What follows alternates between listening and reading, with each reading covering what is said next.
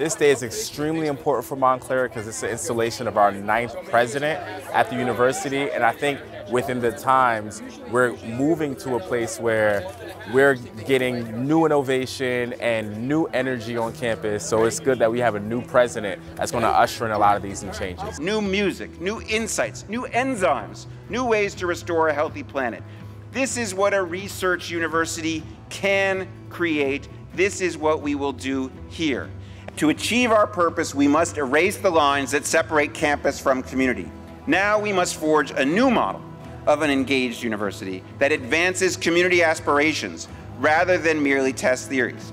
It is so refreshing to hear the president talk about Montclair State University being a public servicing institution and getting the knowledge and the vibrancy of this campus out into the community. We've been doing that for the past 12 years and have learned how important it is to have Montclair State University not just seen as a place of educating on campus, but also across the state. I love giving back to my community. I love being able to help others, knowing that their resources are limited. Even me, like as a woman of color, I still feel like I have more privilege of even attending college, and so I want to use that to better the community. This day really just means um, a commitment, first off, to service. I think that's something that touches us personally with the president is his call to service to give back to the communities around us. So for us, it really just means moving forward, giving back to our communities, and making sure that we're being active and present on campus like Dr. Koppell has been over the last year.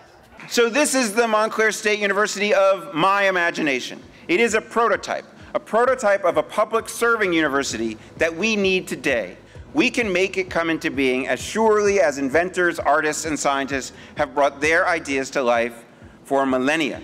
I know we can do it because the stories that our students, alumni, faculty, and staff have shared prove it. I believe that universities committed to advancing the public good are essential to conquering every problem that confronts us today.